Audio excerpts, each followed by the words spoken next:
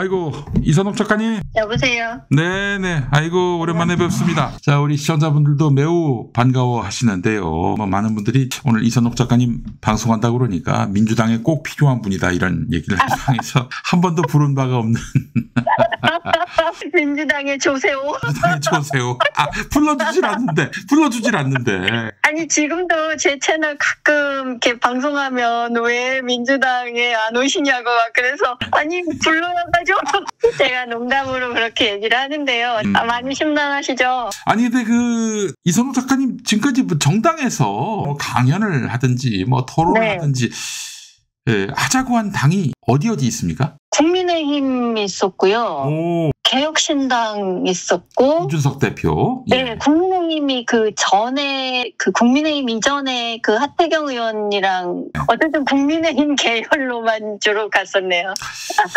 어, 참 심각합니다. 우리 저 이선옥 작가님은 사실 노동 전문 작가고 또 이 사실은 진보에 기반을 둔 분이에요. 그런데 어떻게 그 보수 정당에서만 이렇게 부릅니까? 글쎄요, 제가 그 민주당에서는 토론회가 섭외가 왔다가 이렇게 취소된 적이 있었고, 그래요? 열린민주당에서도 섭외가 왔다가 취소된 적이 있었고, 그런 일이 몇 번 있다 보니까 아, 민주당 쪽에서는 이제 저를 부르면 뭔가 시끄러운 일이 일어난다는 그런 어떤 어, 법칙 아닌 법칙이 만들어진 것 같아요. 그렇게 됐네요. 그래요. 프로 불참너 본의 아니게 그래. 민주당 안에서는 뭐 이선옥 작가님의 그 동안의 뭐 신념, 뭐 주장 이런 것들이 담아질 수 없는 그런 환경이었고 구조였습니다. 참 너무 그게 안타까워요. 아니 사실 이선옥 작가가 무슨 엉뚱한 주장을 하는 것도 아니고 대단히 네. 합리적이고 논리적인 주장을 하는데 왜 이게 배척당하는지 도저히 이, 알 수가 없습니다. 자 조수진 후보 사퇴 건과 관련해서 그래서 사실 이야기의 그 장을 만들어 봤는데요. 네. 조수진 후보의 간밤의 그 후보직 사퇴 너무나 전격적이어서 놀랐습니다. 아니 변호사가 의뢰인에 대해서 당연히 의뢰인을 대변하는 그런 논리를 펴는 것이 당연한데 그래서 이재명 대표도 사실은 조카뻘 되는 사람한테 그를 위해서 변론을 한 일이 있었는데 왜 문제가 되는지 모르겠어요. 일단 이 문제를 보려면 네. 사실은 변호사나 검사, 판사 네. 네. 이렇게 법률가 출신 들이 정치권에 많이 진출을 하잖아요. 예 예. 그러면 이 조수진 후보에 대해서 그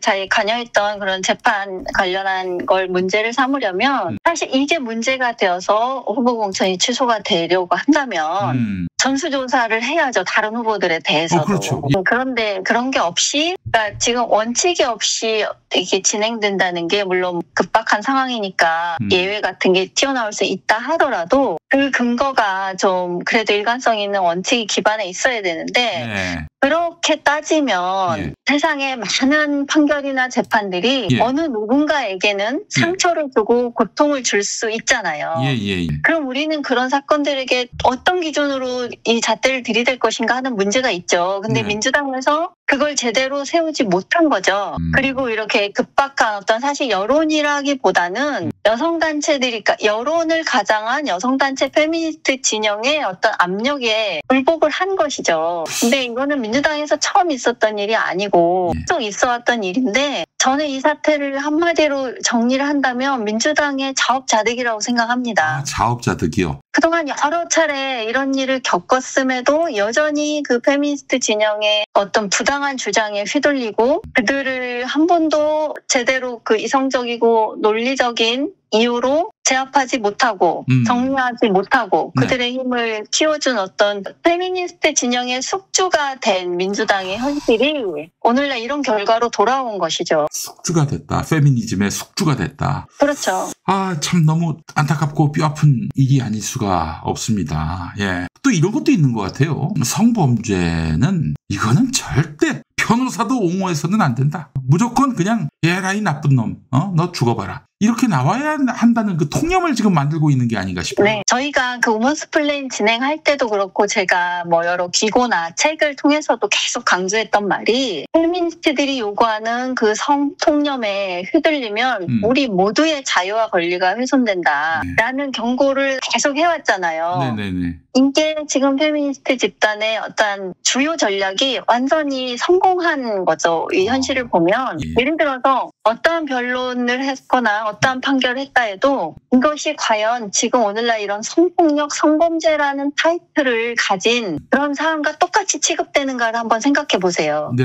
그렇지 않잖아요. 다른 사건, 어떤 사건들보다 성이 들어가면 음. 가장 뭐 끔찍하고 네. 가장 재질이 나쁘고 네. 어찌 보면 사람을 죽인 것보다 더 심한 범죄로 취급되고 이런 지위를 성이라는 범죄가 차지한 지가 네. 정확하게 이 페미니즘이 기승을 부린 시기와 일치하고 비례합니다. 그 뭐, 그 비근한 예로 박원순 시장이 그 시신으로 발견됐는데, 어, 이 페미니즘을 그 따르는 사람들 보면은 돌아가신 분에 대해서 추모할 여지도 주지 않고 그럼요. 완전히 박원순을 쓰레기로 몰고 말이죠. 그래서 심지어 그 양반 어, 장례하는 날에도 그 고인을 짓밟는 그런 기자회견도 하고 말이죠. 그리고 한결에는 뭐 정확하게 왜 박원순 시장이 스스로 목숨을 끊었는지와 관련해서 규명된 것도 없는데 갑자기 피해자에 대해서 옹호해주는 글을 받고 있다. 이런 공지를 내고 말이죠. 네, 그랬죠. 그래서 전 도무지 이해가 안 갔어요, 그게. 근데 그때 민주당이 어, 뼈아픈 실수를 한 건요. 그 처음에 여성 의원들이 피해 소인이라고 말을 했던 것을 줄줄이 사과하면서 민주당이 자승자박 자업자득의 이 결론을 맞은 겁니다. 왜냐하면 우리가 그동안 미투 사건 음. 혹은 뭐 안희정 전 지사 사건, 네. 박원순 시장 사건을 거치면서 우리가 합의해야 했던 원칙은 음, 어, 미투는 믿음이 아니라 검증의 영역이라는 음. 그 원칙을 합의했어야 됩니다. 그런데 우리는 미투를 그냥 검증이 아닌 믿음의 영역으로 만들어 버렸어요. 종교적 그 신념으로 만들어 버렸어요. 네, 그렇게 만든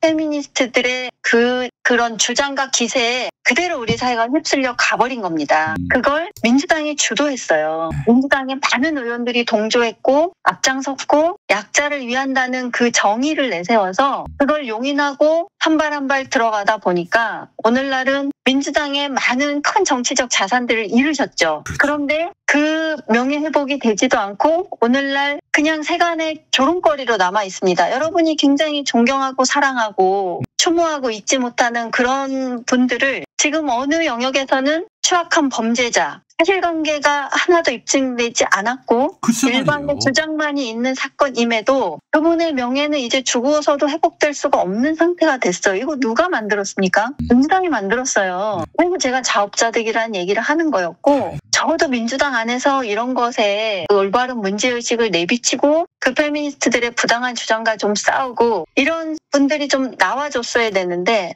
다들 그냥 그 대세에 휩쓸려 갔습니다. 네. 그 대가를 지금 치르고 있는 거죠. 네, 맞습니다. 아니, 그러니까 이 지금 페미니즘 이슈면요, 이게 그 예를 들면 미투 사건 같은 경우는 이건 유죄 추정 원칙이고요. 그리고 무증거주의가 돼버려요. 형사법적 대원칙은 무죄 추정 원칙이고 증거주의 아닙니까? 그렇죠. 뭐 형사법의 대원칙은 그렇죠. 근데 그 성 관련한 사건만 발생하면은 그냥 뭐 피해자 아 피해가 정확하게 입증되지도 않았는데 피해자가 말하면 그게 다 그 자체로 증거가 된다라는 참 무시무시한 통념이 나왔고요. 그것 때문에 실제로 아무 일도 없었음에도 불구하고 그냥 빨리 감옥에서 나와야 된다 이 일념으로 그거 하지도 않았는데 했다고 거짓 시인하고 그런 분들이 많아요. 그러면서 평생토록 더 성범죄자의 오명을 쓰고 살게 되고요. 네. 그러니까 성범죄라는 것이 왜 이렇게 큰 역할과 큰 작용을 하는 사안이 되어 버렸냐면요. 네. 이건 이제 페미니즘과 연관된 건데 네. 페미니즘이라는 이념이 그 제도적인 평등이 자리 잡은 나라에서는 페미니즘이라는 이념이 예. 그 권력을 독점할 분야가 거의 없게 됩니다. 네. 왜냐하면 그 이전에 여성에 대한 어떤 제도적인 불평등이나 차별이 존재하는 사회라면 그것을 바로잡기 위한 운동이 정당성이 있잖아요. 네. 그런데 제도적 평등이 자리 잡은 나라는 주로는 선진국들이죠. 그런 나라는 이제 더 이상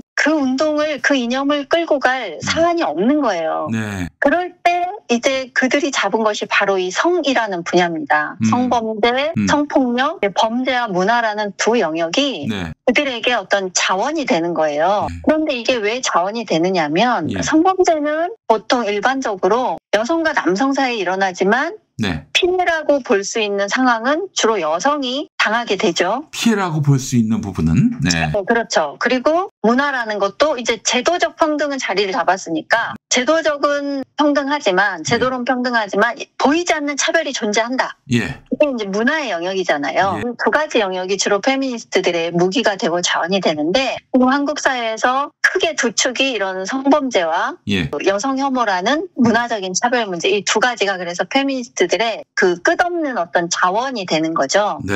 그래서 성범죄가 오늘날 이런 취급을 받고 아주 특 별한 지위에 있는데 이것은 그냥 보통의 평범한 사람들에게도 범죄라는 공포를 자극하기 때문에 그지. 매우 예. 그러니까 동의를 받기가 쉽단 말이죠. 예, 예, 예. 그렇기 때문에 이게 이렇게 영향력이 있는 사안이 돼버린 거고 조수진 후보 같은 경우에도 다른 어떤 뭐 변론보다 네. 이 성범죄가 매우 선정적으로 작용을 하게 되는 거죠. 제가 이 사건을 보고 조수진 후보의 그 페이스북을 한번 봤어요. 네, 네, 네. 그 중에 하나가 예전 이제 사건에 대해서 음. 언급한 게 있더라고요. 예. 뭐였냐면 예. 이게 아마 그 비난하는 사건에 대한 것일 수도 있는데 그 이제 구속된 그 피의자 를그 피고인을 변론하다가 이제 항소 기각을 당하셨나 봐요. 그러면서 이제 이제 성범죄에서 무죄라는 무죄란 없는 걸까 고민이 된다 이런 걸 쓰셨더라고요. 네. 그러면서 예. 증거 재판 안 하냐 성범죄 무죄 이거에 대한 문제 의식을 드러낸 그런 글이 있더라고요. 어, 야, 야.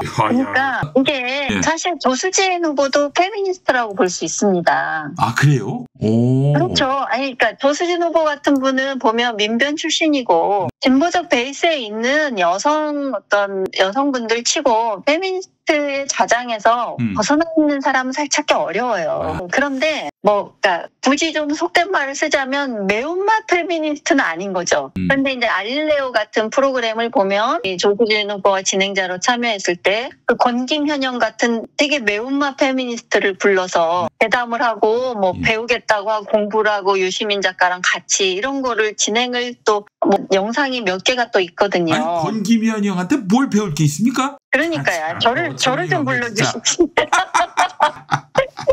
형한테 뭘 배워? 어? 아주 낮은 자세로 배우시더라고요. 근데 아, 제가 그걸 참. 보면서도 그건 좀 그거죠. 네, 더 작가나 건- 뭐 저기 네. 조수진 변호사나 페미니즘 문제와 관련해서 날 건들지 마. 나는 좀 봐. 네. 뭐 그런 거 아닙니까? 솔직히 얘기해서? 저, 그러니까 제가 놀랬던 건 뭐냐면 그렇게 거기서 출연을 해서 웃고 같이 공감하고 이렇게 했던 사람이 권기면영 씨가 이 사태에 대해서 가장 또 앞에서 목소리 높여서 조수진 사퇴하라는 막 비난을 퍼붓는 거예요. 그래요.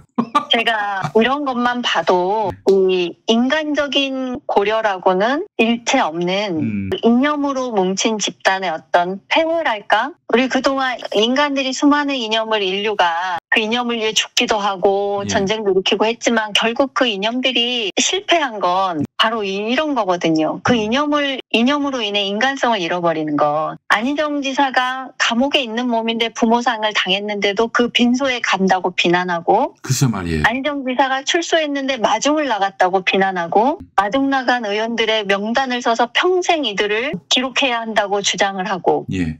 이것이 페미니스트들의 모습이거든요. 박원순 시장의 관의 못을 받고 네. 그 박원순 시장의 지지와 후원과 그의 정책으로 연명했던 그 페미니스트들이 앞장서서 박원순 시장의 등에 칼을 꽂지 않았습니까? 네. 이런 걸 보면서 정말 인간적인 고려라고는 없는 어떤 해로운 이념 집단의 어떤 전형적인 모습이랄까? 그런 모습을 또 확인하게 되는 거예요. 아니 뭐 성범죄도 뭐뭐 대단히 잘못된 범죄지요. 같은 범죄인데 근데 어떤 성범죄 사건 그 이슈가 터지면은 이 저 극단적 매운맛 페미니스트들한테 모든 그 발언권이 다 넘어가요. 나는 그이 자체가 좀 이상하다는 느낌이 들어요. 아니 제일 중요한 거는 진실을 규명하는 것이고요. 진상을 규명하는 것이고요. 그 다음에 대한 이제 평판의 영역은 그, 그 이후에 이루어져야 하는데, 뭐 무슨 이슈만 터지면 다 권김현영이니 뭐 이런 인간들한테 가서 마이크를 들이대더라고요. 그러게요. 유시민 작가님한테 좀 물어봐 주세요. 왜 그런 분들에게 뭘 배워야 된다고 생각하시는지. 네, 유시민 작가. 민주당의 이런 큰, 좋아해서.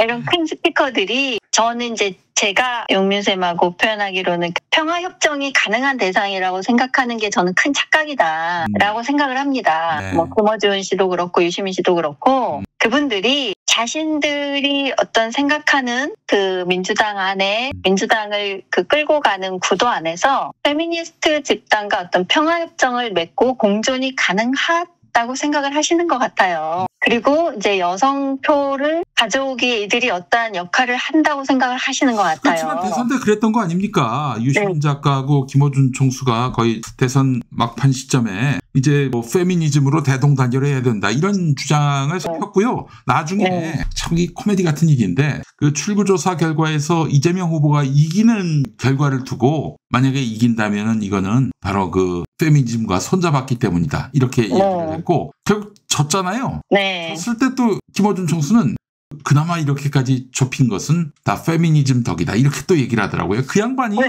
우파와 페미니즘이 결합할 수 있다라는 얘기를 맨 처음 하신 분이에요. 아주 뭐 대단한 이런 반페미 노선의 그런 김어준 총수였는데 어떻게 갑자기 네. 입장이 바뀌었는지 좀 도무지 이해가 안 되더라고요. 그게. 뭔가 전략적 사고의 결과겠죠. 뭐 그분들은 워낙 정치 어떤 구도를 보는데 능숙하신 분들이니까 제가 그분들의 뭐 속을 알 수는 없지만 그뭐 네. 정의의 문제 뭐 이걸 떠나서 전략적으로 또 실패한 거 아닙니까? 그렇게 생각 안 하신 거죠. 그 1번남, 2번남 얘기하면서 음. 그러니까 저는 그 민주당이 페미니즘 노선을 걷지 않았다면 음. 그 젊은 남성들의 표가 그렇지. 국민 지지로 가지 않았을 거라고 생각하거든요. 음. 그러니까 크게 이길 수 있는 걸 매우 아깝게 졌다고 판단하는 게 저는 정확하다고 보는데 오히려 그 작은 차이로 막판에 이제 진 것을 음. 그나마 여성들이 우리를 지지해줘서 이겼다라 고 그런 자족적 평가를 하는 것을 보고 아, 민주당은 앞으로도 이렇게 가겠구나 음. 이런 생각이 들더라고요. 그러면 결국은 막대한 청구서를 들이밀 것이다라고 저희가 둘이 계속 얘기했었잖아요. 그렇죠. 이 예, 청구서 언젠간 받을 것이다 크게. 페미들한테. 네. 그렇죠. 박지원이라는 분을 데려다 대표로 세울 때부터 그 청구서 계속 날라올 것이다라고 저희 둘이 얘기를 계속 했었잖아요. 박지현이 이번에 그뭐 당내 경선에서 미끄러졌는데 사태가 또 벌어지니까 입을 벌려가지고 어, 나의 네. 지도 편달을 받아야 된다. 이 당은 성격은 그 어떤 감수성이 많이 떨어지는 이 당은 박지현 나의 그 지도를 받아야 한다. 뭐 이런 식으로 지금 생각하고 있는 것 같아요. 그 분들이 이제 보면 음. 페미니즘 외에는 지금의 이제 옛날 여성 운동하고 조금 다른 것이 네. 지금 영페미라고 하는 이 젊은 어, 최근에 한 영페미, 젊은 네, 페미. 2015년부터 활동을 하면서 페미니즘 운동에 열심히 앞장서고 있는 젊은 페미들을 보면요. 네. 그 특징이 예, 예.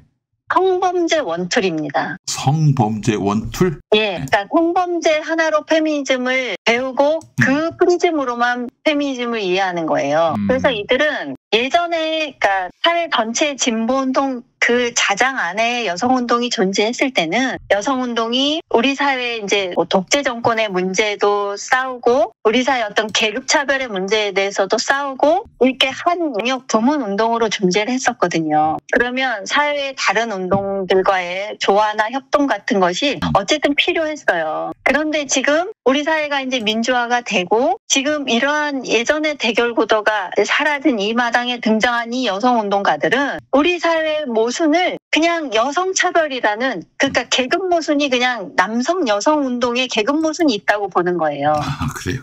그러니까 남성 여성 자체가 계급인 거예요. 그러니까 이들에게 그 계급의 가장 폐인 남성 지배 권력 여성 피해자 이 도식만이 존재하니까 그것이 가장 선정적이고 독점적으로 드러나는 게 이제 성범죄라는 거죠. 그래서 성범죄 피해자가 90%가 여성이다. 어떻게 여성이 차별받지 않는다고 할 수 있느냐 이런 논리를 가진 겁니다. 그 논리로 무장하니까 다른 어떤 사안보다 성범죄에 대해서 극렬하게 반응하고 극렬한 운동의 자원으로 삼는 것이죠. 예, 알겠습니다. 조수진 후보 사퇴하는 데 있어서 민주당 내 페미니스트 그 세력이 큰 몫을 했다는 평가가 지배적입니다. 뭐 네. 젠더 이슈만 생기면 나타나는 이 사람들, 이들은 왜 이러고 또 이들에게 왜 민주당 지도부는 계속 휘둘리는지 참 의아하기 짝이 없습니다.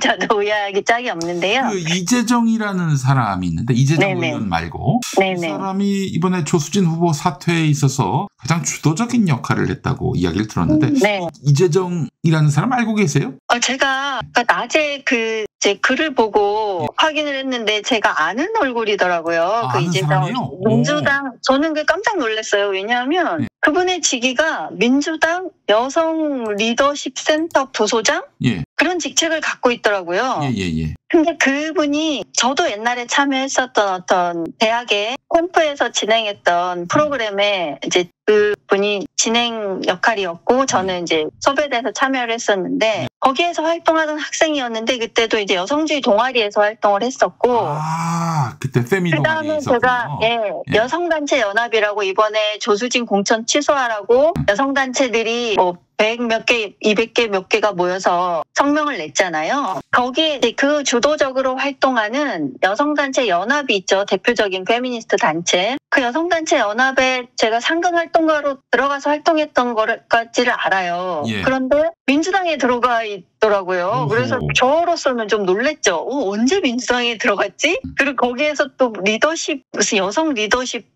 센터 부소장 이런 걸 맡고 있다고 하니까 제가 볼 때 그러니까 박지원 전 대표에 대해서도 그런 말들이 있었잖아요. 네, 네. 기본적으로 저는 이제 예전에 노동 문제를 많이 주력했던 사람으로서 제가 가진 어떤 삶의 기본적인 원칙이 저는 있어요. 그게 뭐냐면 저 사람이 어떤 노동을 해서 먹고 사는가, 자기 생계를 유지하는가, 그걸 저는 좀 중요하게 보는 쪽인데, 네, 저도 사실은 박지원- 그 네, 대통령이 될 사람이 노동자 생활을 했나 네. 좀 주안점을 두고 보는데 말이죠. 박근혜는 뭐 1초도 노동자를 해본 적이 없고요. 윤석열도 그러니까, 네. 뭐 엄밀히 말하면은 검사 그 자체가 권력의 지위에 있잖아요. 노동자라고는 말할 수가 없는 것이고. 어, 그래서 저는 이 저들이 대통령이 되는 순간 큰일 날 수 있겠다라고 생각을 했는데 뭐 그렇죠. 노동자를 네, 그러니까 예. 그러니까 생계를 유지하는 노동은 누구나 하죠. 네. 그게 어떤 노동이든. 근데 제가 얘기하고자 하는 거는 뭐 검사도 공무원이죠. 노동을 하는데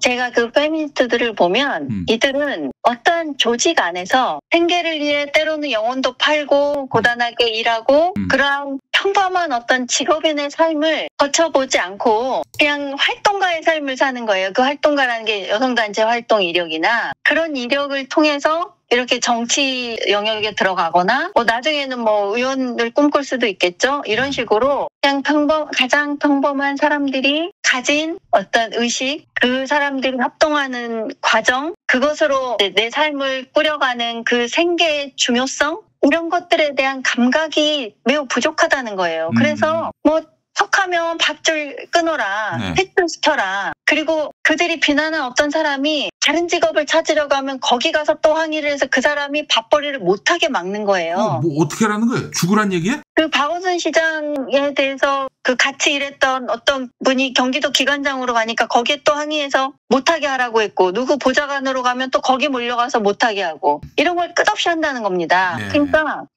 이게 깡패짓. 네. 예, 밥벌이의 중요성 같은 것을 타인의 삶에 대한 존중이 없어요. 이들은 그러니까 자기들이 그러한 생활인으로 살아보지 않으니까 타인의 삶의 그 생계의 중요함이나 노동의 필요성이나 그 안에서 얻어지는 여러 가지 상호작용 속에서 얻어지는 부수적인 어떤 인간적 성숙 이런 것들이 되게 부족하다는 거예요. 네. 근데 이 사람이 오늘 보니까 민주당에서 무슨 부소장을 맡고 있다는 거예요. 그래서 제가 아 민주당이라는 정치 조직이 너무나 페미니스트들의 정말 숙주가 여전히 되어 있구나 그런 생각이 들었습니다. 너무나 많은 페미 의원들이 민주당의 의석을 차지하고 있기 때문이라고 저는 봅니다. 아니 능력도 없고 뭐 그렇다고 뭐 정치에 대한 식견도 없고 그렇다고 뭐 유권자 국민에 대한 뭐 그런 애정이 있는 것도 아니고 그냥 오로지 그냥 페미니즘 하나로 어, 그렇게 권력을 얻은 사람들 아니겠어요? 누구한테 고마워하겠습니까? 아니 민주당 그 동지라고 불리는 사람이 억울한 일을 당해도 야 너는 성범죄자야, 어? 그러니까 넌 죽어야겠다 이렇게 나오는 사람이 어떻게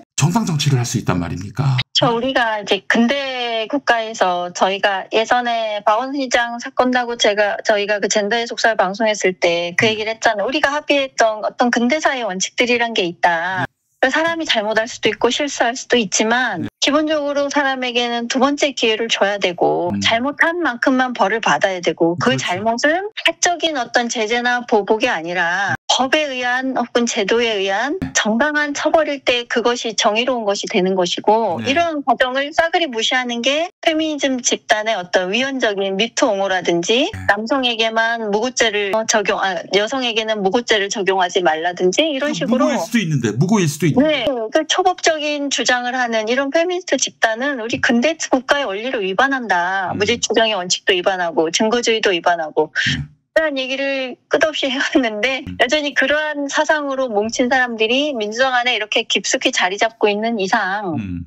조수진 후보의 이런 공천 취소가 또다시 벌어지지 않으리라는 보장이 없 죠. 그 그리고- 다음에 예. 그 누군가를 사냥할지 몰라요 이자들이. 예. 그렇죠. 그리고 사실 저는 그 이재명 대표의 그런 이력이나 캐릭터로 볼 때 사실 페미니스트들이 절대 지지하거나 좋아할 수 있는 캐릭터가 아닙니다. 그런데 그들이 또 그런 게 있어요.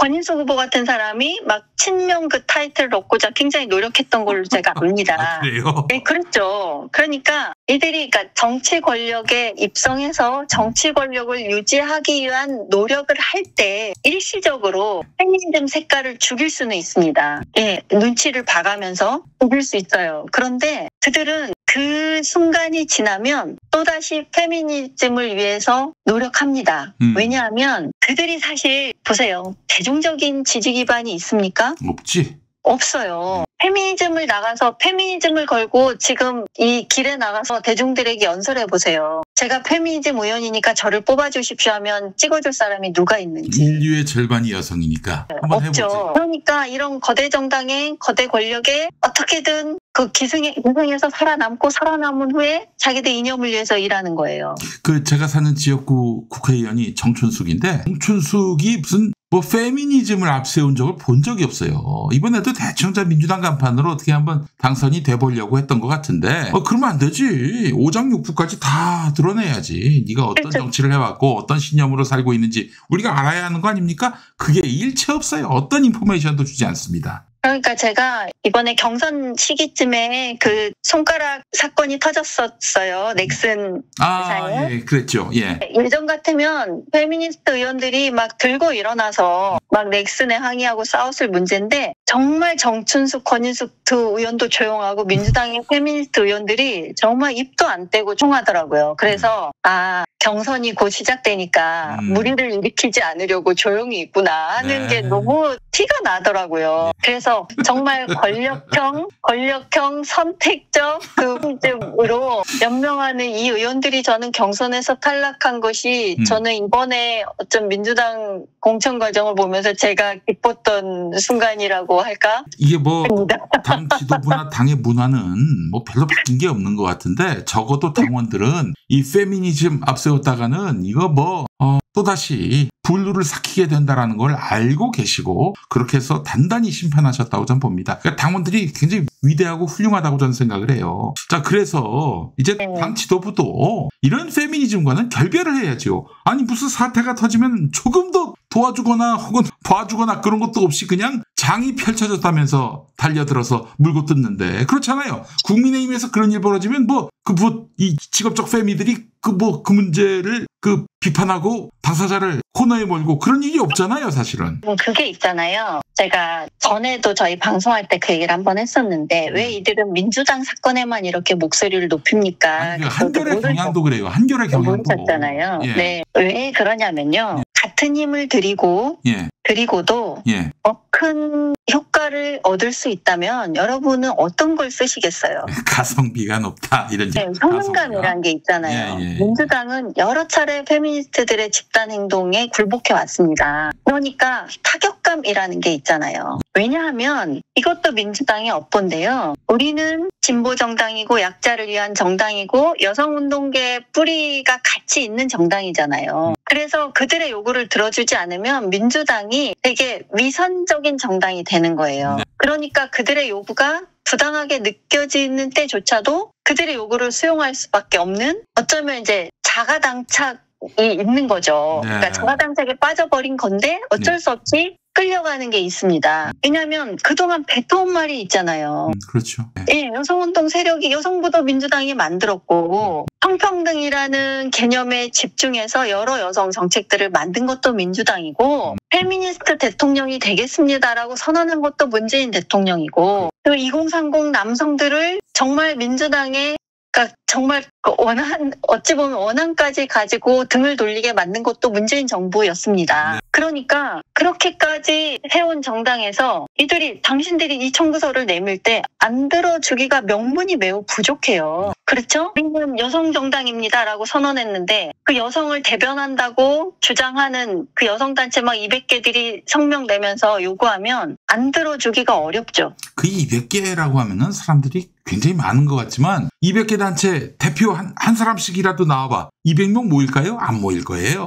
못 모일 그런데 거예요. 그 200개라는 단체들이 이렇게 때만 되면 모여서 집단 행동을 할 수 있는 힘을 누가 키워줬냐면 그것 또한 민주당 정부가 키워줬습니다. 예. 이들 여성단체 사업비들이 음. 정부 지원 없이 굴러가지 않아요. 그걸 다 만들어 놨습니다. 이들이 가진 막강한 음. 이 조직력이 어디에서 나오느냐면 실질적인 여성 대중이 없이 여성운동이라는 이름으로 이 막강한 권력을 휘두를 수 있는 기반이 그 사업, 음. 정부, 정부 주도의 사업에 이들이 다 들어가서 뭐 성기 교육을 하고 네. 성폭력 상담을 하고 네. 뭐 여성 평등 뭐 뭘 감시하고 네. 성차별 뭐 모니터링을 하고 이런 것들 다 정부 돈입니다. 이들은 자기 조직 대중이 없어요. 없음에도 이 막강한 권력을 가집니다. 여성 시민을 대리하지 않으면서 음. 그 대리 권력을 가지고 있어요. 이것 또한 민주당 정부가 키운 겁니다. 그러니까 제가 여러분이 민주당 당원이시고 지지자님들이 많아서 불편하실 텐데 어쩔 수 없어요. 이게 사실이기 때문에. 사실이니까. 네.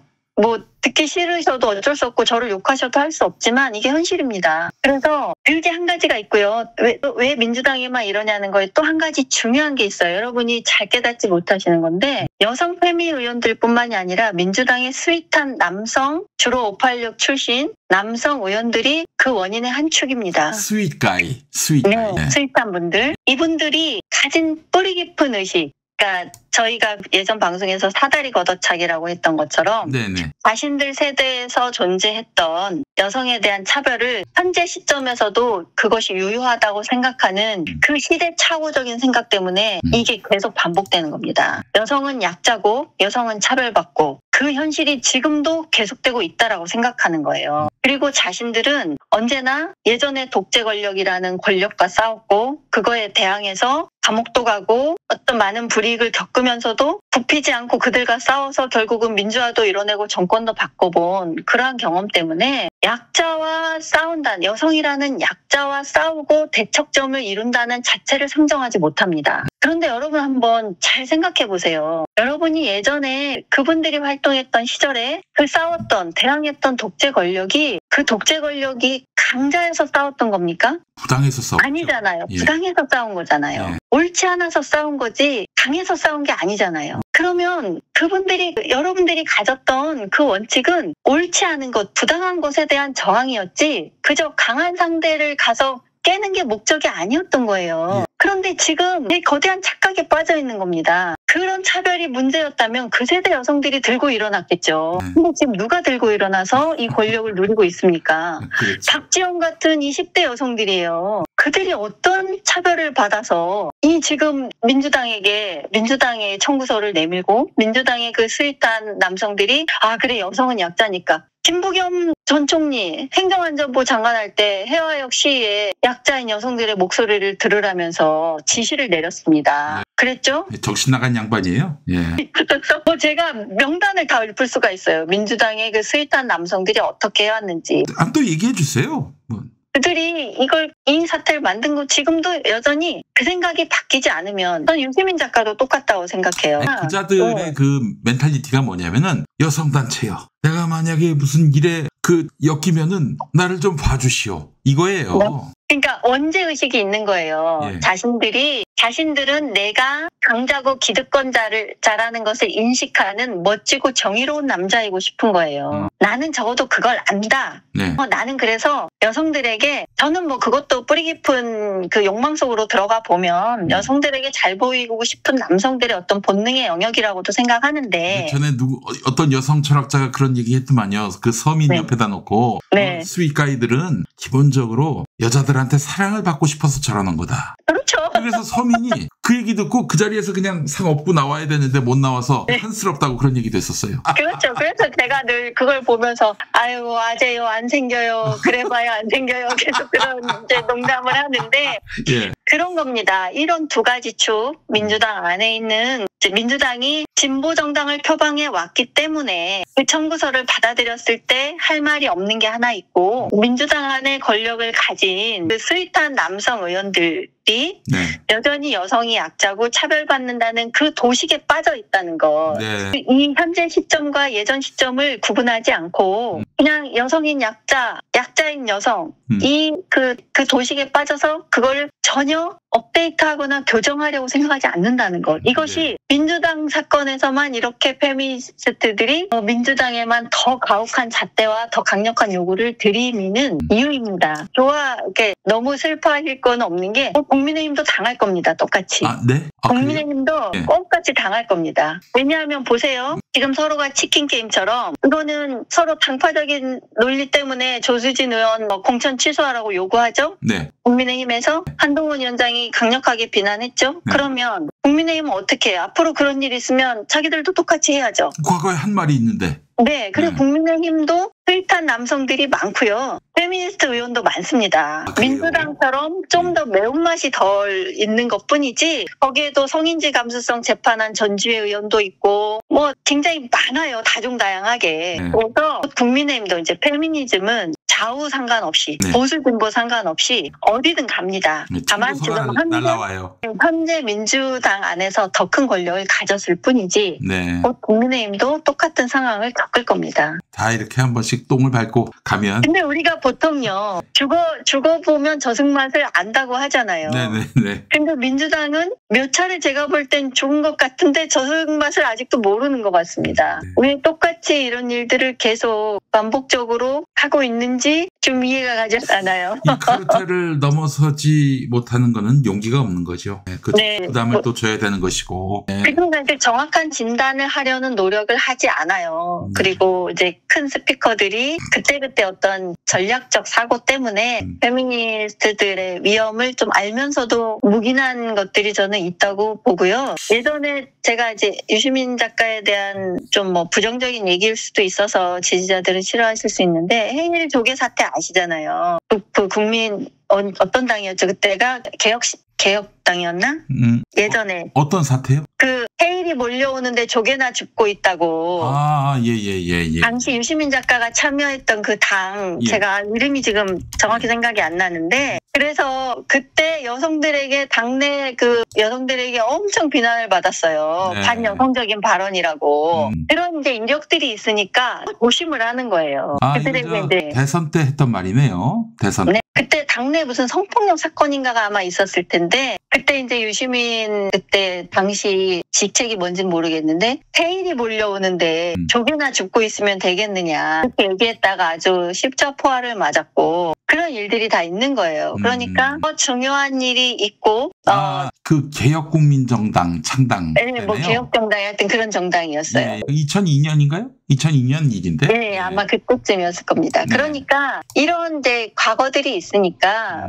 이들이 굳이 이제 약자를 대변한다고 하는 그 여성 단체들과 척지고 싸우고 비난 듣고 이런 거를 원치 않는 거죠. 네. 그래서 이제 페미니스트라는 옷을 입으면 내가 좀 비껴갈 수 있을까? 그리고 음. 나도 페미니스트 공부한다고 하면 좀 봐줄 수도 있지 않을까 하는 어떤 기대를 가지지 않는가 이건 그냥 제 추측입니다. 알겠습니다. 근데 이선홍 네. 작가님 전에 그 이 비동의 강간죄 네. 성관계를 맺을 때 그 동의를 구해야만 그 명시적으로 뭔가 증거를 남겨야 한다는 얘기인지는 모르겠습니다만은 비동의 이한 가운데서 성관계하면 이건 강간죄로 엮을 수 있도록 음. 법을 만들자라고 했던 페미니스트 정치인들 꽤 있었죠. 네. 뭐 장혜영도 있었고 저 류호정도 있었고 말이죠. 그리고 박지원도 네. 있었군요. 예. 민주당의 나머지 의원들이 아마 민주당일 텐데요. 그 네. 법안의 발의에 동의했던 의원들이.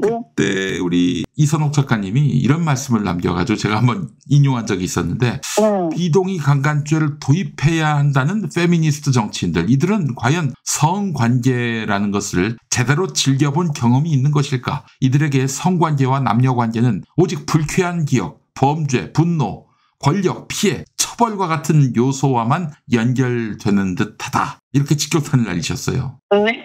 아, 갑자기 어, 이런 말 해도 되나?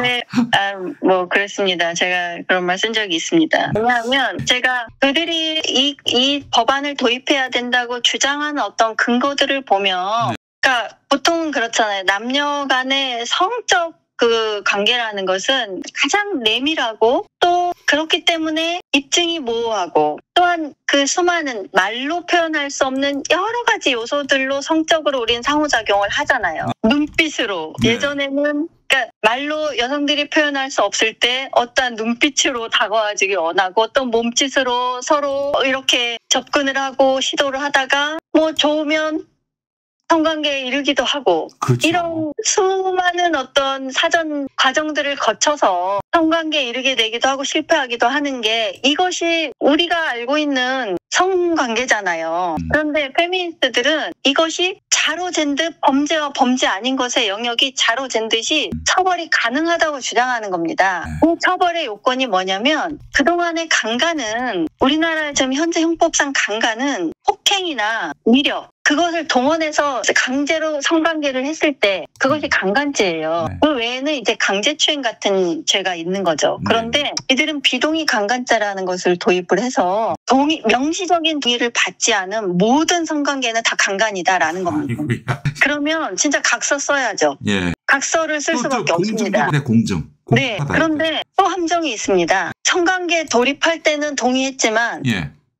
가정에서 나는 거부했다라고 하면 그것 또한 입증할 수 없습니다. 어이구야. 그 변심을 해가지고 그 그렇죠. 좋아서 같이 연애하는 네, 쪽에서 그러니까 성관계가 졌는데 예. 부정 의사라는 게 성관계 과정에 어떤 지점에서도 가능한 거예요. 어. 그러면 이들이 주장하는 그거는 현, 야, 현실에 적용해 보면 음. 딱 남성들을 여성들이 나쁜 마음을 먹으면 얼마든지 강간범을 만들 수 있습니다. 아, 그렇죠. 예. 지금 우리 사회에서 벌어지는 많은 성관계 영역이 강간죄 영역으로 포함될 수 있습니다. 음. 이들은 그러한 부작용이나 어떤 회색지대에 대해서는 생각하지 않아요. 그저 성가, 동의하지 않는 건 강간이지 이게 왜 틀려? 이렇게 말하는 겁니다. 네. 그러면 우리가 명시적인 동의 안희정 전 지사 사건을 제가 자꾸 거론해서 안희정 지사께 죄송한데 안희정 전 지사 사건에서도 그 법적으로 그 여성은 동의 부동의 의사를 표시하지 않았어요. 그거는 재판에서 입증된 사실입니다. 네. 그렇지만 위력 관계였기 때문에 강간죄를 적용받았습니다. 네. 그러면 우리가 명시적으로 아 성관계 나랑 하는 거에 동의해? 어 동의해. 이걸 받지 않고 자연스럽게 남녀가 어울리다가 성관계 돌입했어요. 음. 그런데 돌아서서 난 명시적으로 동의 의사를 표현한 적이 없어라고 하면 바로 처벌이 되는 동의했음을 이 남성이 어떻게 입증해야 됩니까? 입증할 방법이 없습니다. 예. 없어요. 예. 그게 무서운 죄입니다.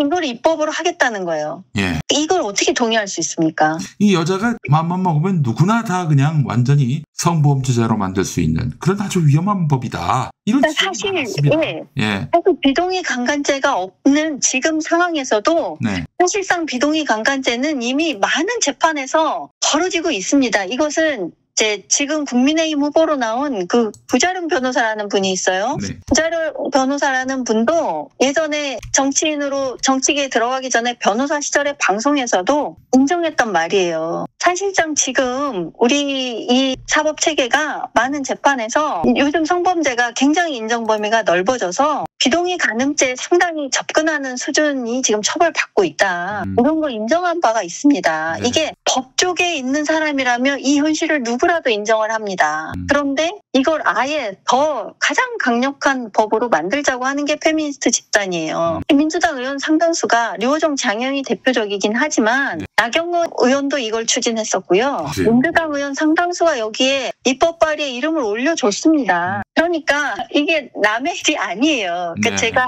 이렇게 성범죄라는 것을 저는 그때 제가 아마 박지원 전 대표의 그 비동의 간음죄 발언 때문에 제가 이 글을 아마 썼을 거예요. 네. 그래서 저는 사실 인간적으로 좀 안타까운 마음이 있었습니다. 저 글을 썼을 때는. 네. 왜냐하면 이 한참 정말 되게 즐겁고 행복하고 인간에게 성이라는 요소가 음. 가져다주는 그런 쾌락이나 행복이나 기쁨 이런 요소들에 대해서 정말 느껴보지 못한 걸까? 왜 성관계를 저렇게 강간, 처벌, 막 불안, 범죄 이런 식으로만 바라보는 저런 기준이 왜 저 젊은 여성들에게 생겼을까? 그래서 또 한 번 페미니즘이 저는 정말 싫었습니다. 저들이 페미니즘이라는 이념을 받아들이지 않았다면 저렇게 하지 않았을 거거든요. 그런데 이런 나라에서 출산율이 어떻게 오를 수 있겠습니까? 아, 그러네요. 지금 저출산 얘기하면서 예. 페미니즘이 가져온 이 성별 갈등을 얘기하지 않는 건 저는 기만이라고 봅니다. 당연히 얘기해야죠. 아니 아무도 얘기하지 않아요. 아니 그 저기 일선 중고등학교에서 저기 교편 잡으시는 분들 얘기 들어봐도 아니 그 교실에서도 젠더 간 갈등이 벌어져 가지고 막 여학생들은 남학생들한테 소추 운운하고 뭐 그 남학생들은 또그 여학생들한테 뭐 뭐라 그랬더라 너, 너 꼴패냐 뭐 이런 식으로 해가지고 뭐 진짜 육탄전이 벌어지고 뭐 그런데요. 예. 네, 아까 출산율이 급격하게 하락한 게 그 페미니즘이 급격하게 올라간 시기와 일치해요. 저는 맞네요. 한번 예. 분석해 볼 필요가 있다고 생각합니다. 그 얘기하는 사람이 없죠? 없어요. 예, 없습니다. 왜냐하면 어. 그 얘기를 하면 페미니스트들이 당장 들고 일어날 게 뻔하고 아무도 이 불편하고 민감하고 예민한 얘기를 하려고 하지 않는 거예요. 기피하거나 무시하거나 이런 상태죠. 문재인 정부 때 그 여성가족부 산하에 그 어디 교육원 이름을 제가 까먹었습니다. 양성평등교육진흥원. 예, 거기 저 연세대 나이, 나유민경, 나임윤경 뭐였지? 예, 그 사람이 만든 교재에 남자들은 그 잠재적 성범죄자고 자신이 성범죄자가 아님을 성실히 입증해야 한다 이런 얘기를 하면서 네. 어전 진짜 야이 미-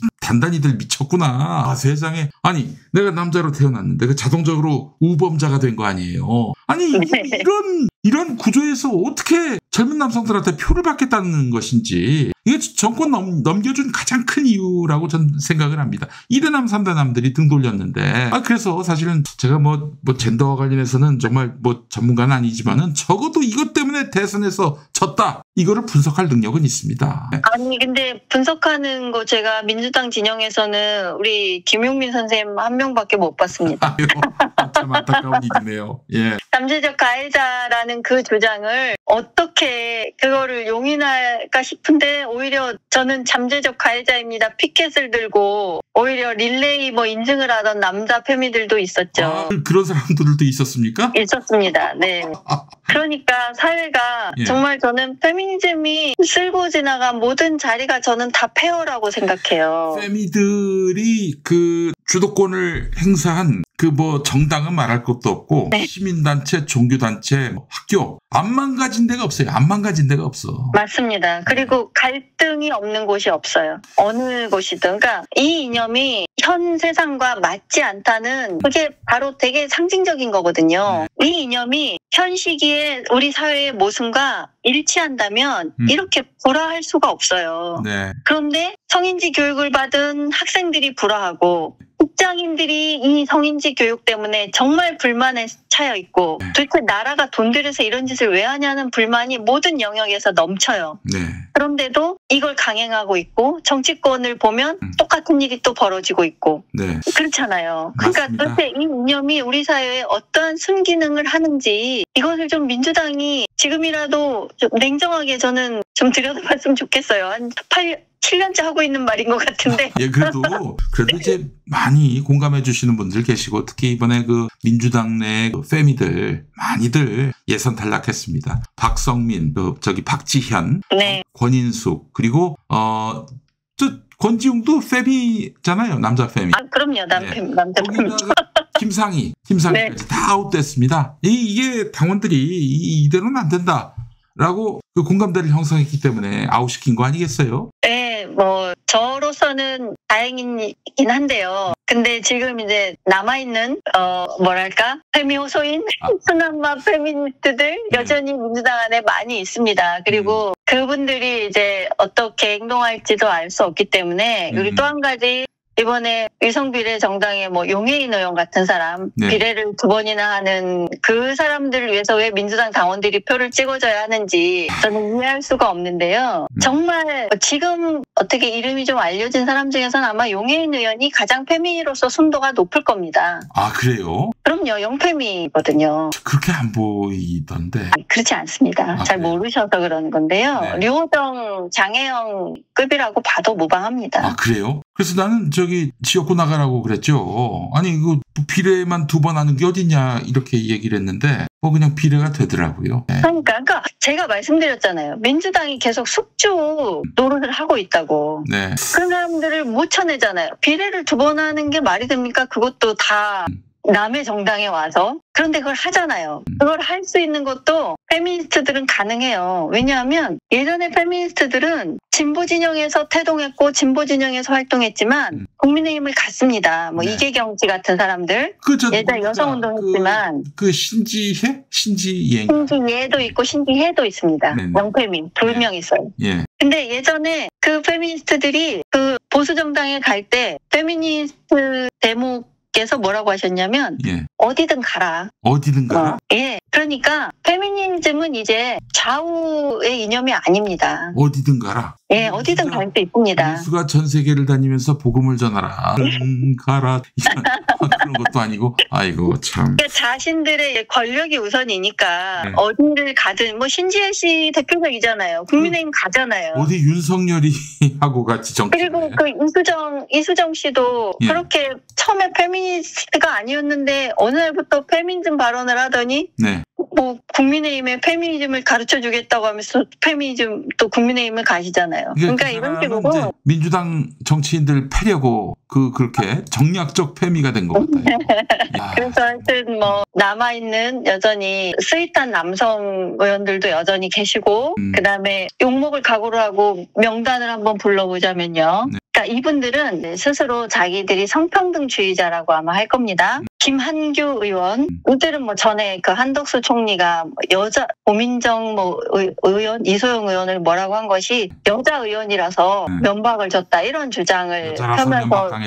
예, 예, 아. sweet함을 또 드러내셨고 송기헌 의원 같은 경우에는 검사 출신 원주. 네, 뭐 real doll 규제법안뿐만이 아니라 여성폭력 방지 기본법 발의할 때도 활약을 하셨어요. 이분은 여성이 폭력의 피해자니까 여성 피해자로만 한정해서 법을 만들어야 된다고 주장을 하시면서 네. 어떠한 폭력들이 남성에게도 가해질 수 있다는 그러한 뭐 사항을 무시하고 여성만을 위한 법안을 만드는데 또 앞장을 서셨고 그래서 여성 단체가 주는 상도 아, 받으셨습니다. 상도 받았 어요. 네, 오. 뭐 그리고 뭐 박주민 의원 네. 여자도 국방 의무를 한다 이런 발언으로 또 2030 남성들의 또 공분을 산 바가 있고요. 어, 지금 이번 사태에도 관여가 돼 있지만 이재정 의원 아까 그 이재정 부소장 말고 이재정 의원 여성위원장 맡고 계시는데 이분도 뭐 여성이 차별받는 약자다라는 주장을 뭐 계속 하셔온 분 하셨던 분이고 음. 강선호 의원도 비동의 녹음을 처벌하는 법을 발의하셔서 또 지탄을 반 분이고 그러니까 뭐 그- 이소영 의원도 뭐 백혜련 의원도 음. 고민정 의원도 진선미 의원도 뭐 음. 박홍근 대표도 이렇게 피해 호소인 하셨다가 또 다 사과하셨던 뭐 남인순 의원이야 뭐 대표격이고요. 네. 어, 지금 또 저출산이라는 용어를 페미니스트들의 요구를 받아서 저출생이라고 쓰고 계시는 홍익표 원내대표도 계시고 예.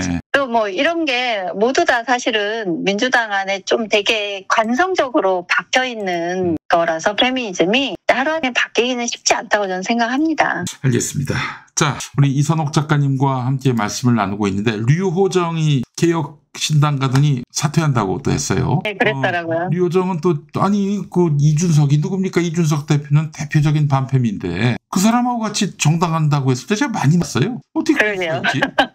그러니까 명분은 음. 당대당 통합이 되면서 외양 합친 거라고 얘기를 하는데 되게 기이한 조합이 맞죠. 아니 그렇다면은 자기는 합류 못한다. 뭐 이러면서 또 결기를 좀 보여줘야 되는데 가가지고 또 그 대놓고 이준석이 diss하니까 또 앞으로 뭐 어? 잘하겠다라는 식으로 또그 꼬리를 내리고 말이죠. 예. 제가 저 페미니즘의 문제 중에서 한 가지가 인간적인 고려나 어떤 인간성 면에서 되게 파괴적인 이념이라는 얘기를 했잖아요. 네. 아, 류호정 의원 같은 경우에 봅시다. 음. 정의당에 가서 정의당에 사실 그 분이야말로 지갑을 주었다는 표현이 들어맞는 사례잖아요. 그 일본 예, 뭐. 일본 그 전체 그 네, 일본을 있는데. 그냥, 예. 그냥 뭐 우연히 운 좋게 500표 받아서 1등이 되고 뭐 1000표 받아서 2000표 받은 사람을 이기고 1등이 되고 네. 류- 류호정 장혜영이 그 케이스 아닙니까? 그렇죠. 예. 그렇게 해서 정의당이라는 진보 정당이 수십 년 동안 어쨌든 이어온 뭐 진보 정당이라는 맥을 계승한다고 할 때 그 정당을 만들기 위해서 헌신해온 분들이 있잖아요. 그분들의 노력으로 그 정당이 존재했던 것인데 그 정당의 골수만 빼먹고 그 정당에 침을 뱉고 나오잖아요. 물론 심상정 의원의 업보입니다. 심상정의 자업자득이죠. 네. 정의당을 노동자의 정당이 아닌 페미의 정당으로 음. 뭐 속칭 메갈 정당으로 만든 후과를 지금 치르고 있, 지 않습니까? 사실 인천연합 거기하고 맞상대를 하려면 세력이 필요하고 그래서 영패미하고 제휴했다 이런 얘기가 있었어요. 그 심상정 의원은 심지어 페미니즘을 더 열심히 하지 않아서 정의당이 표를 못 받았다라는 진단을 하기도 한대요. 그 얘기를 저기 장혜영이 됐었고. 예. 네, 그러니까 이런 정당에서 본인들이 사실 그 정당에 어떤 기여를 했습니까? 대중적으로도 아무도 모르는 사람들을 뭐 직업 경력도 제대로 없는 그런 여자 젊은 여성들이 그 기회를 얻어서 운 좋게 국회의원이라는 정말 그 누구도 일생에 한 번 해보지 못하고 평생을 노력하고도 얻지 못한 그 자리를 얻었으면 그 당을 위해서 헌신을 해도 모자란데 네. 나올 때 어떻게 하고 나옵니까? 음. 그 당에 침을 뱉고 죄를 뿌리고 나오잖아요. 네. 근데 이번에도 보세요. 개혁신당으로 어, 지역구 출마한다고 그래서 아 그래 그나마 좀 낫네 음. 이랬어요. 그런데 오늘 당일 등록을 안 하면서 개혁신당에서 나한테 해준 건 무슨 외모 뭐 컨설팅밖에 없었다. 이렇게 또 똥을 뿌리고 나갑니다. 그러니까 이 사람들에게는 네. 책임의식이라는 게 없습니다. 일도 없어 일도. 이 영패미들은 참당 후사, 뭐 선조직, 후개인 이런 개념 자체가 없어요. 네.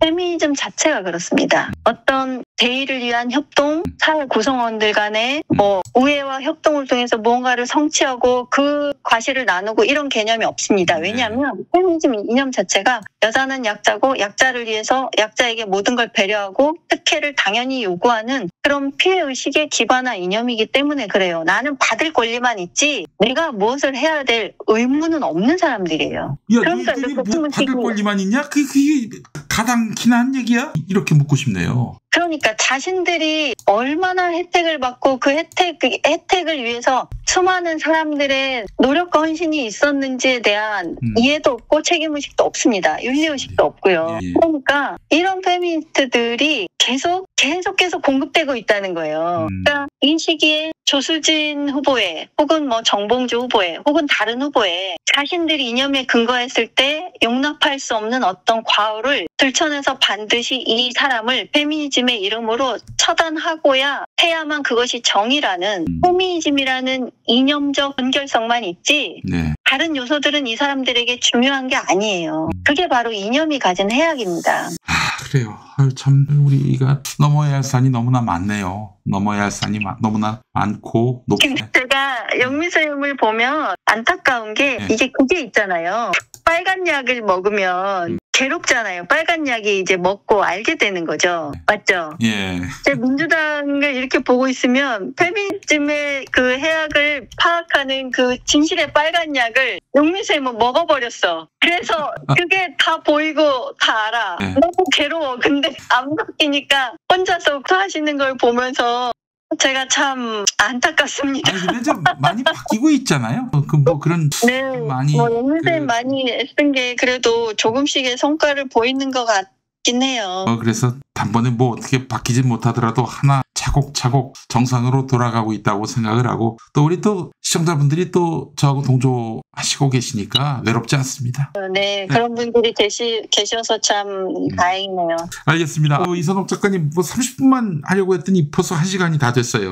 어머 그래요? 아유 시간 가는 줄 몰랐네. 아이고 너무너무 근데 뭐 1초도 뭐, 그, 뭐 지루하다, 길다 이런 생각이 들지 않습니다. 예, 너무 감사하고. 제가요, 예. 제가 저 제 개인 채널도 방송을 하지 않은 지 오래됐고, 아, 그래요. 네, 그러니까 너무 예민하고 이런 시기라 사실 저 같은 주장을 하는 사람들은 지금 시기에 어떤 말을 해도 뭐 불편해하세요. 그래서 섭외 같은 거에 응하지 않고 있는데 우리 용민 쌤은 혼자 보고 감사합니다. 빠지게 됐고 저희는 또 인연과 의리가 있지 않습니까? 그렇죠 예전에 말입니다. 3년을 방송을 같이 했는데 어, 그러니까 뭐 음. 제가 응하고 싶지 않았으나 네 용민 쌤 애쓰시는 거를 참 아이고 감사합니다. 보고 있습니다. 잘 예. 안타까운 마음으로.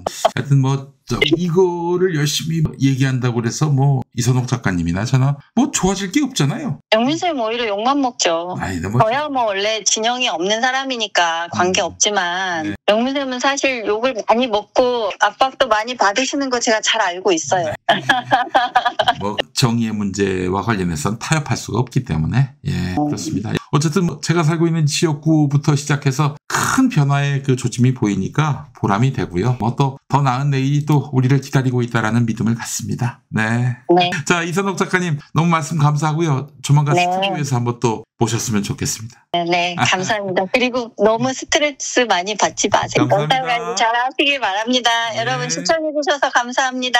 고맙습니다. 이 작가님. 네. 지금까지 단단한 개인 또 왜 이대남은 동네 북이 되었는가 되었나 이 책을 쓰셨고 지금 이선옥닷컴 운영하고 계시고 이선옥 TV도 지금 운영하고 있는 이선옥 작가와 함께 했습니다. 자, 조수진 변호사가 이제 후보직을 사퇴하고 뭐 후보 등록 마지막 날이었는데요. 금요일이 3월 22일 한민수 대변인이 네, 후보로 등록을 했습니다. 여러분 좀 슬프지 않습니까? 제가 한민수 대변인을 뭐 디스하는 것도 아니고 제가 그분을 몰라요, 잘. 아는 분이 아니기 때문에 뭐 제가 품평을 할 수가 없는 거죠. 그런데 제가 슬프다는 이유는 뭐냐면은 당원들 거의 50만이 참여해서 투표를 했잖아요. 그래서 조수진 후보를 결정했잖아요. 근데 이걸 엎었단 말이에요. 이게 보통 문제입니까? 어떻게 그럴 수가 있어요? 게다가 또 이게 무슨 뭐 거대한 뭐 문제 제기, 항쟁 이런 것이 있어서 결정된 후보를 바꾸는 게 아니라 고작 저 페미들이 난리를 쳤다고 그걸 또 한겨레 경향이 받아준다고 또 조선일보가 또 한동훈이 받아준다고 그걸 엎어요. 여러분 그게 민주주의 맞습니까? 그게? 도무지 이해를 할 수가 없습니다. 사실은 음, 그 정봉주 전 의원과 함께 이번에 강북을 선거 열심히 달려온 분이 계십니다. 뭐 누구라고 제가 굳이 얘기하진 않겠지만은 그분이 저한테 저 문자를 보내왔는데 조수진 후보가 결정되고 나서 보내신 문자입니다. 조수진이 정봉주를 배제하고 박용진과 손잡는데요. 헐 이런 일이 물론 이제 박용진과 손 잡아야지. 정봉주 전 의원이 강북을 후보가 됐더라도 그 박용진과 손잡아야지요. 그럴 수 있는데 이 정봉주 전 의원이 승복했잖아요. 그러면서 내가 조수진이고 조수진이 나다. 이렇게까지 얘기를 했으면은 고맙고 미안하다. 뭐 이런 말은 하지 않더라도 무시를 하면 안 되지. 개무시를 당한 거죠. 정봉주 전 의원이. 얼마나 마음의 상처가 컸을까 하는 생각도 들면서 참 이분이 아무리 정치 신인이라 하더라도 기본적 도의라는 게 있는데 아 이건 참 황당한 일입니다. 예, 황당한 일이에요. 자 일단 기본적으로 한민수 대변인은 정세균계입니다. 정세균 전 총리가 국회의장 할 때 그때 아마 정세균 의장 쪽에 스태프로 들어간 걸로 알고 있고요. 이번에 그 갑작스러운 공천도 안규백 전략 공천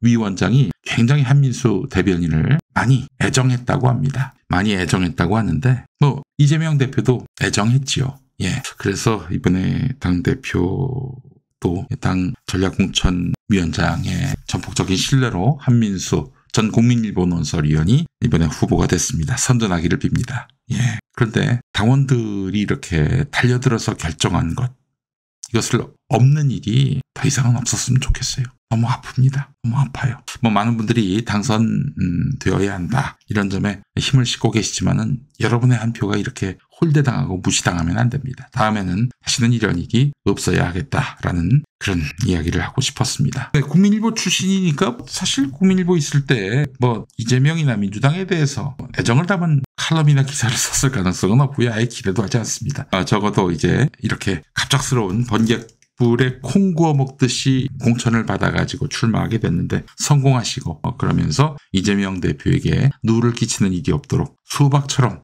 행동하지 않기를 바라는 마음입니다. 예, 한민수 후보에 대해서 제가 아는 바가 없습니다. 아는 바가 없어서 제가 이렇게 말씀을 드리는 거니까 뭐 디스한 것도 아니고요. 예, 조수진 변호사는 야, 그 짧은 기간에 이렇게 밑바닥을 보이나 많이 안타깝고 많이 슬픕니다. 네.